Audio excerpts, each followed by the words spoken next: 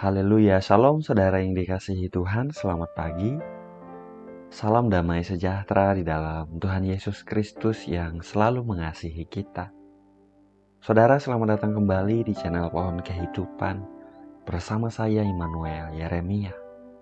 Di pagi yang diberkati Tuhan ini, saudara, kembali sebelum kita memulai aktivitas kita, kita siapkan hati kita untuk duduk diam mendengarkan perenungan firman Tuhan saudara.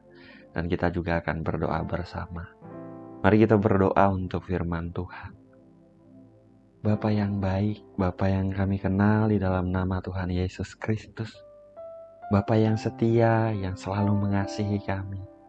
Pagi ini Tuhan, kembali kami datang kepadamu.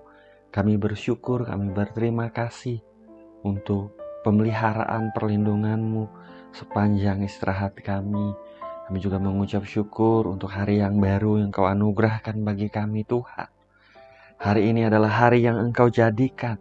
Hari ini adalah hari yang engkau berkati. Terima kasih untuk kasih setia dan rahmatmu yang selalu baru setiap pagi. Bapa, pagi ini sekarang kami mau mendengar firman. Berfirmanlah ya Tuhan, kuatkan teguhkan kami, buat kami menangkap apa yang menjadi kehendakmu hari-hari ini dalam hidup kami. Curahkan damai sejahtera sukacitamu kepada setiap pribadi Tuhan. Diberkatilah setiap pribadi, pakai mulut bibir hambamu ini untuk menyampaikan isi hatimu. Hanya di dalam nama Tuhan Yesus Kristus, kami siap mendengar firmanmu. Haleluya. Amin. Haleluya. Saudara mari kita buka Mazmur 27 ayat 4 sampai 6 Saudara. Kebenaran firman Tuhan tertulis demikian. Satu hal telah kuminta kepada Tuhan. Itulah yang kuingini. Diam di rumah Tuhan seumur hidupku.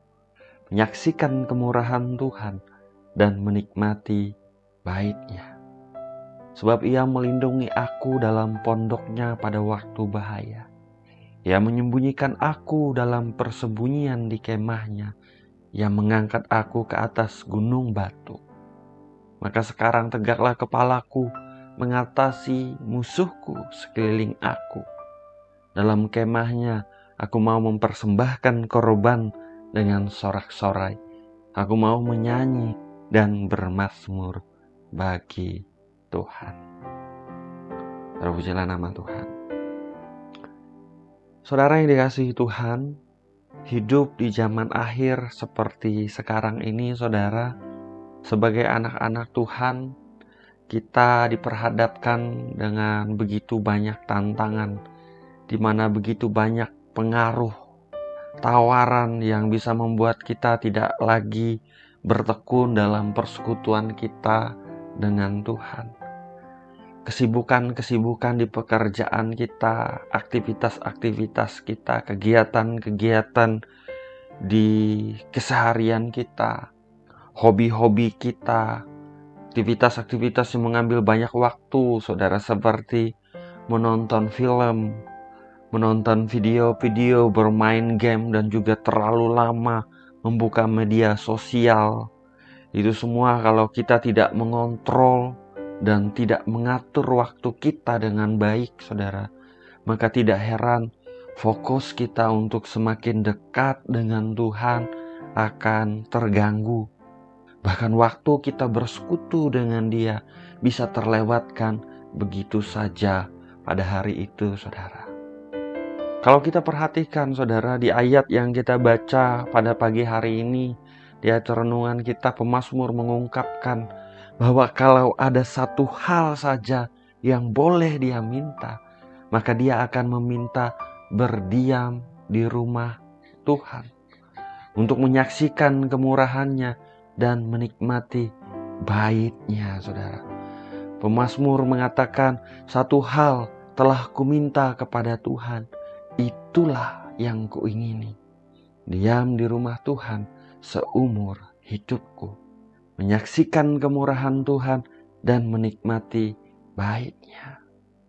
Saudara pemazmur mengerti saudara bahwa dekat dengan Tuhan, tinggal diam di hadiratnya, merasakan kasih dan kebaikan Tuhan itulah yang terpenting di hidupnya. Pemasmur mengerti sekali saudara bahwa Tuhanlah yang senantiasa dia perlukan di hidupnya. Bersama Tuhan dia aman. Bersama Tuhan dia alami kebaikan. Bersama Tuhan dia alami kasih dan kuasa Tuhan di hidupnya. Itu sebabnya di ayat yang kelima dan keenam dia berkata sebab ia melindungi aku dalam pondoknya pada waktu bahaya. Ia menyembunyikan aku dalam persembunyian di kemahnya. Ia mengangkat aku ke atas gunung batu. Maka sekarang tegaklah kepalaku mengatasi musuhku sekeliling aku. Dalam kemahnya aku mau mempersembahkan korban dengan sorak-sorai. Aku mau menyanyi dan bermasmur bagi Tuhan. Saudara, Bersama Tuhan kita aman, saudara. Bersama Tuhan kita alami perlindungannya. Bersama Tuhan kita alami penyertaannya, pemeliharaannya yang sempurna. Haleluya. Pagi hari ini saudara, biarlah setiap kita boleh memiliki hati yang selalu rindu untuk berdiam di hadirat Tuhan seperti pemazmur miliki kerinduan di hati kita, saudara, untuk semakin dekat dengan Tuhan, untuk menikmati kasihnya di hari-hari kita, untuk mengalami kebaikan-kebaikannya di hari-hari kita. Di dalam Mazmur 42 ayat 2 dan 3 tertulis, seperti rusa yang merindukan sungai yang berair, demikianlah jiwaku merindukan engkau, ya Allah Jiwaku haus kepada Allah, kepada Allah yang hidup. Bilakah aku boleh datang melihat Allah? Haleluya. Saudaraku, percayalah, saudara, persekutuan kita dengan Tuhan tidak pernah menjadi sia-sia. Kedekatan kita dengan Tuhan adalah kunci untuk saudara dan saya boleh alami penyertaannya yang sempurna di dalam hidup kita. Ketika kita menghadapi masalah, ketika kita menghadapi tantangan, kita akan melihat tangan Tuhan yang kuat menyertai kita. Kita melihat pertolongannya yang ajaib datang dalam kehidupan kita, saudara. Kita melihat kemuliaannya dinyatakan atas hidup kita sebab Tuhan ada bersama-sama dengan kita. Mari saudaraku kembali aktif di dalam video renungan kali ini. Katakan saudara tulis di kolom komentar di bawah, aku mau semakin dekat dengan Tuhan, mengalami kasih dan kebaikan Tuhan di hidupku. Terpujilah nama Tuhan. Mari kita berdoa saudara.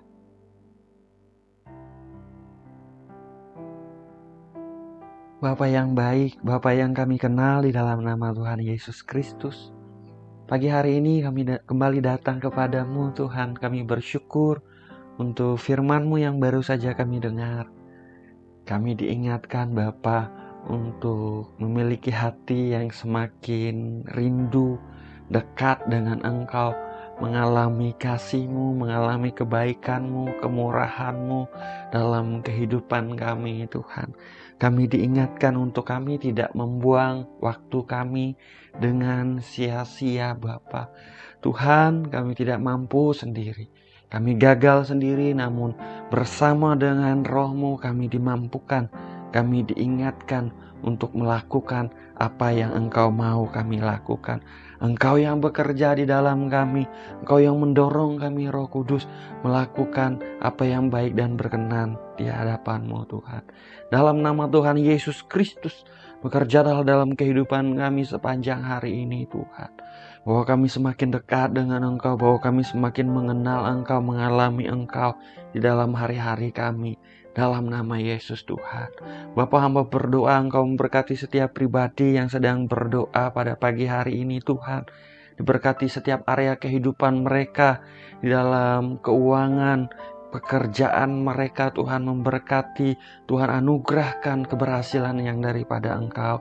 Tuhan memberkati kesehatan anak-anakmu Bapa, anugerahkan kesehatan yang baik bagi setiap mereka yang sakit. Tuhan ulurkan tanganmu untuk menyembuhkan. Kami selalu percaya Engkaulah Yahweh Rafa, Tuhan yang menyembuhkan. Ulurkanlah tanganmu untuk menyembuhkan ya Tuhan. Kami percaya Engkau telah membayar harga untuk kesembuhan sakit penyakit kami, Yesus. Oleh bilur-bilur Tuhan Yesus Kristus, setiap sakit penyakit telah disembuhkan dalam nama Yesus Tuhan. Bapak yang baik Engkau memberkati setiap keluarga, setiap rumah tangga, anugerahmu Engkau limpahkan, bahkan orang-orang yang mereka kasihi, suami istri, anak-anak, Tuhan memberkati, Tuhan limpahkan damai sejahtera, sukacita, perlindunganmu sempurna atas hidup mereka. Tuhan juga memberkati para single parent di dalam mereka menjalani hari-hari mereka, apa yang mereka perlukan, apa yang mereka butuhkan. Engkau adalah Tuhan yang setia mendampingi mereka, menyediakan apa yang mereka perlukan. Terima kasih Bapa, terima kasih. Pada pagi hari ini Tuhan, kami mau serahkan hidup kami ke dalam tangan-Mu. Setiap rencana, setiap aktivitas, kegiatan, pekerjaan kami, kami serahkan kepada Engkau. Tuhan kami yang baik. Biar Engkau membuat berhasil beruntung apa yang kami kerjakan ya Tuhan. Kami berdoa jauhkan kami dari niat orang jahat, jauhkan kami dari kecelakaan, jauhkan kami dari tragedi yang buruk. Kami aman dalam perlindunganmu sempurna. Kami yang ada di rumah, kami yang ada di kantor, kami yang ada di lapangan bekerja, kami yang ada di dalam perjalanan, di udara, di laut, di darat.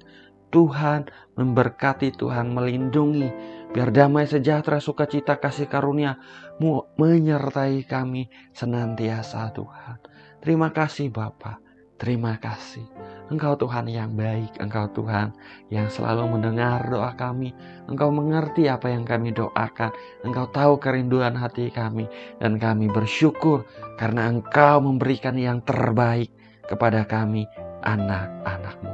Ini doa kami, segala pujian, hormat, kemuliaan hanya bagi Engkau saja Tuhan. Hanya di dalam nama Bapa, Putra dan Roh Kudus, yaitu dalam nama Tuhan Yesus Kristus, kami berdoa. Haleluya. Amin. Amin. Amin. Haleluya. Saudara kita sudah berdoa, saudara ingat pesan pada pagi hari ini, biarlah kita memiliki kerinduan hati yang selalu mau dekat dengan Tuhan, bersekutu dengan Tuhan, tinggal diam di hadiratnya, membaca merenungkan firman-Nya, menangkap apa yang menjadi kehendak Tuhan dalam hidup kita hari-hari ini, saudara. Dan pujian, syukur, penyembahan boleh keluar dari mulut kita untuk Tuhan kita yang melindungi kita, yang menyertai kita, yang memelihara hidup kita sempurna. Terpujilah nama Tuhan. Jalani hari ini dengan semangat, dengan antusias, saudaraku. Doa saya menyertai saudara. Saya ucapkan selamat pagi, selamat beraktivitas. Tuhan Yesus memberkati. Haleluya.